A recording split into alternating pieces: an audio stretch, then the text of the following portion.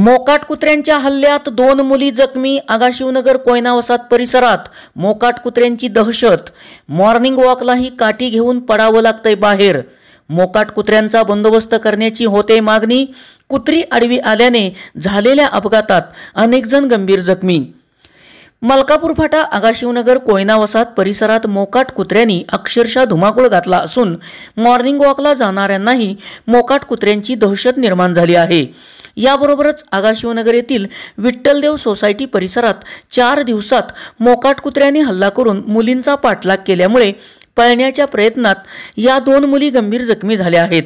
मलकापूर फाटा परिसरात मटण व चिकन विक्रीचा व्यवसाय असल्यामुळे या ठिकाणी मोकाट कुत्र्यांची टोळी कायमच पाहावयास मिळते.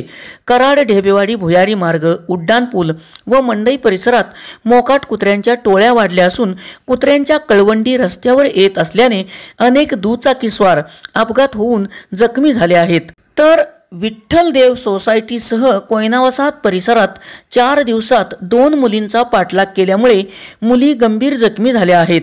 या मोकाट कुत्र्यांचा शासनाने कायमचा बंदोबस्त करावा अशी मागणी नागरिक व वाहनधारकांमधून होत आहे. एस पी ओरिजिनेटिव्हसाठी सुनील परीट कराड.